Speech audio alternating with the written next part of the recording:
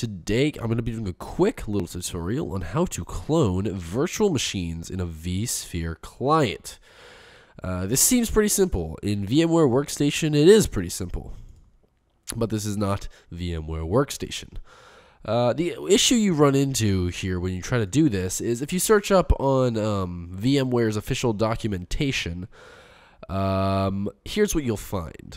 Let's just get this up here. Cloning a virtual machine in a vSphere client. Right, this is exactly what I want. Here's the thing you must be connected to a vCenter server in order to clone. You can't clone if you're directly connected to an ESXi host. Now, I don't know about you guys, but for me, I only connect directly to my host. This is a vSphere client. This server has never been connected to any vCenter server. I've always connected directly and I don't have a license for vCenter, so this is my only way of connecting.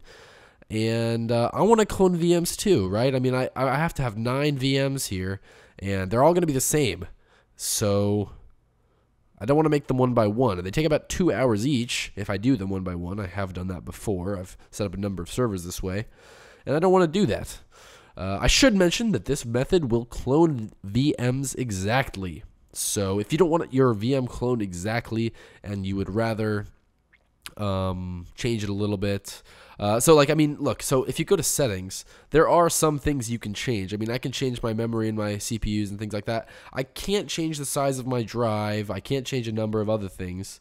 But you know, obviously, once you make your new VM here, it will be independent. I mean, you can uh, change its settings that aren't permanent, like drive size. But other than that, it's permanent, like I said.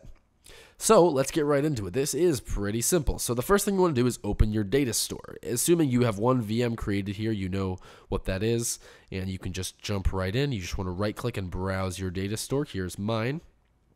Go to the VM you want to clone. In my case, all these are the same, uh, but we'll just head to the first one. And what you want to do is the following.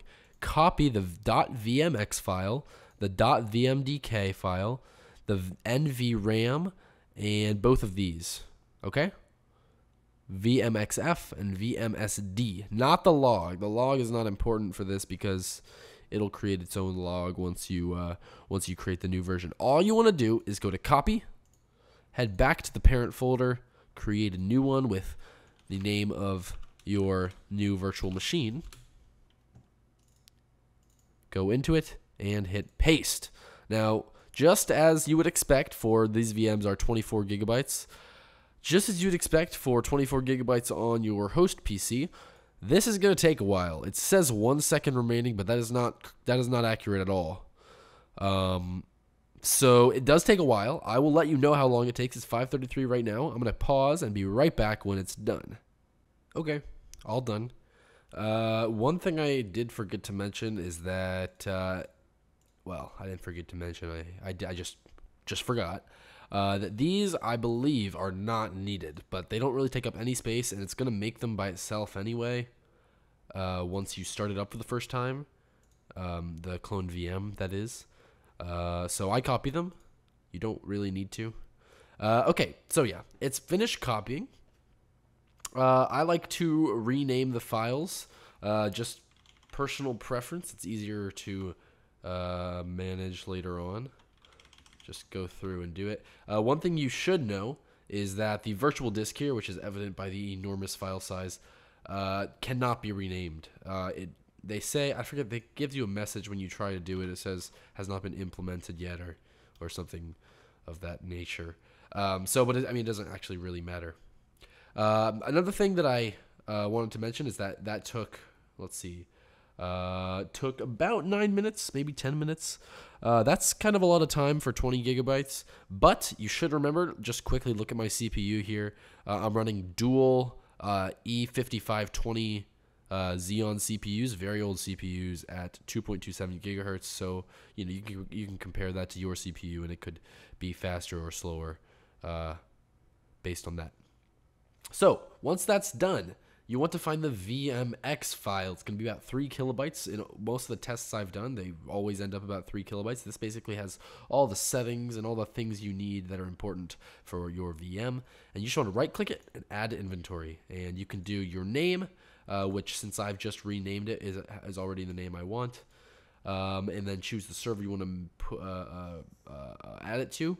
Uh, even though I am currently, as you can see here, connected to two servers, uh, only the one shows up. So I don't think there's ever anything, any other option here. Um, and then ready to complete, just hit finish. We can close out of the data store now. And here it is. We're going to boot it up. and turn it on. And it's going to ask you, did you move it or copy it? I copied it is important to say. I mean, I don't actually, I don't know how important it is. I'm going to boot up the original one too, just for comparison. Okay, so we're going to boot it up here. Make sure everything goes smoothly.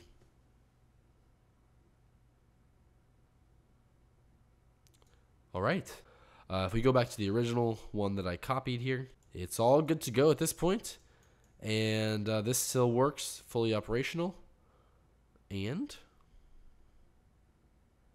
is also fully operational. Everything worked correctly, and both still work fine. Okay, so thank you guys for watching. If you have any questions, be sure to comment them down below, and I will get back to you as soon as I can. Uh, and I'll see you guys next time. Bye bye.